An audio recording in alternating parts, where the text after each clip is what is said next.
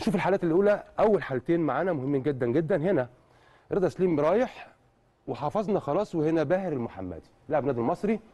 هنا قلنا دايما لما يكون رضا سليم رايح من ناحية الشمال حاجة اسمها الهجوم الواعد وهنا إيه اللي حصل؟ هنا حاجة اسمها تعطيل الهجوم الواعد من باهر المحمدي. دي أول حالة اللي كانت بطاقة صفراء آه، مستحقة للاعب نادي المصري. هنا محمد عادل لم يتردد ابدا في إشهار البطاقة الصفراء دي الحالة الأولى.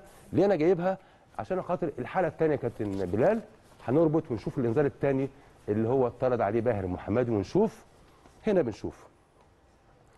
آه إمام عاشور هنا زق الكرة هي هي نفس الكرة. نفس الكرة اللي هي كانت مع رضا سليم رضا آه وباهر محمدي هنا النهارده. نفس الكرة إمام عاشور رايح ناحية الشمال. عندي هنا مخالفة تعطيل هجوم ومخالفة تهور عادل. الاثنين موجودين. شوف محمد عادل هنا في ال- هنا هنا شوف آه، أسلوب الدخول من باهر.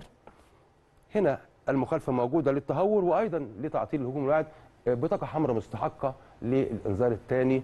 وهنا بحيي محمد عادل ع- يعني ما عندوش حسابات يا بلال. صح.